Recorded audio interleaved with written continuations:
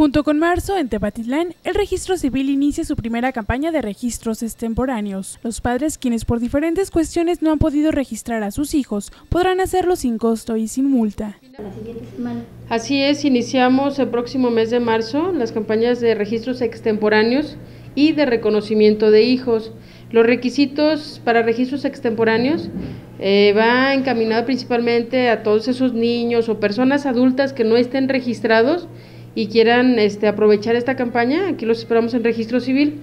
Los requisitos son que nos traigan los documentos que ustedes con los que ustedes cuenten, ya sea registro de nacimiento o el registro de nacimiento de algún hijo si es persona mayor, eh, copia de identificación del hijo quien lo presenta o en su defecto si es niño, copia de identificación de los papás y acta de nacimiento de los papás.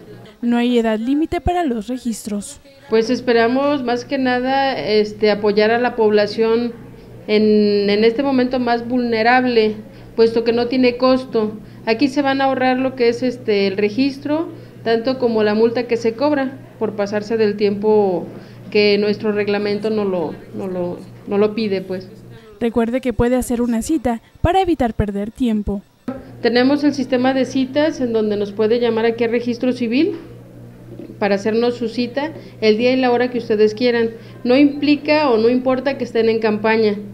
El otro día me comentaba una señora, oiga, pero es que como de campaña y como va a ser gratis, nos van a atender al final. No, al contrario, les estamos dando, y eh, pues así es, ¿no? Les estamos dando la preferencia a quienes estén de campaña y a quienes nos, nos hagan cita. Para Central Noticias, Cintia Gómez.